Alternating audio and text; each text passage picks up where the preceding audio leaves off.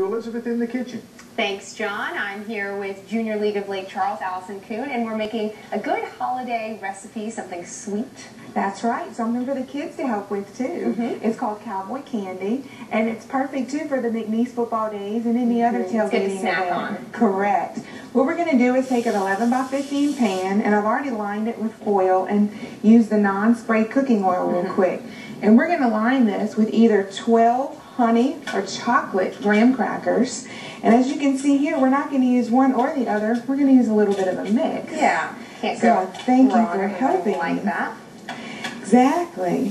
One left over. And you definitely want to keep that uh, non-spray uh, mix out because actually a tip in the cookbook that it tells you is for when you're using peanut butter, honey, and other sticky items, spray your utensils or spray your measuring cups with that non-cook sticking uh, that non-stick, cooking spray, yeah. spray, and it'll come right out, as well as make cleanup so much easier. That's a great tip. Yeah, and actually this is one of the many recipes you'll be able to taste at the Junior League of Lake Charles Incorporated annual market. Oh, the mistletoe moss. Yeah, so what are you pouring over these? What I've already done is melted a half a cup of creamy peanut butter in six blocks of white almond bark.